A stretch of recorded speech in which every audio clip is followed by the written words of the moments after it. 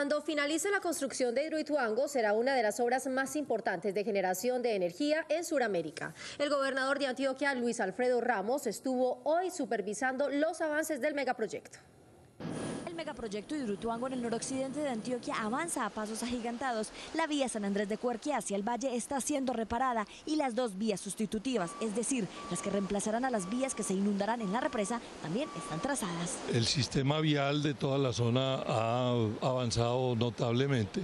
El mejoramiento de las vías que llegan a San Andrés de Cuerquia y hasta el valle igualmente está sufriendo ya un beneficio muy positivo. Las comunidades así empiezan a percibirlo. Esto todo va a quedar pavimentado. Habrá en 100 años en Colombia un proyecto ni siquiera parecido a este.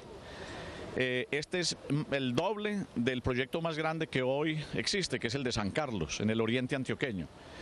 Y no hay dentro de la planeación, dentro de los estudios, ningún proyecto siquiera parecido. En este lugar irá la presa, que es una montaña o una pirámide enrocada con 225 metros de altura y que detendrá el río Cauca y de esta manera se formará la represa.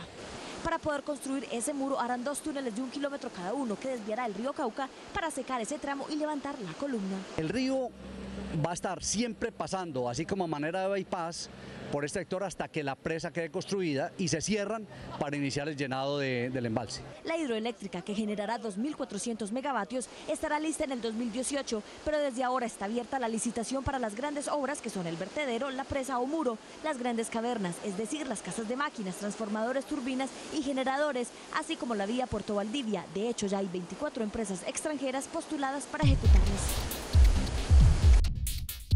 Elmundo.com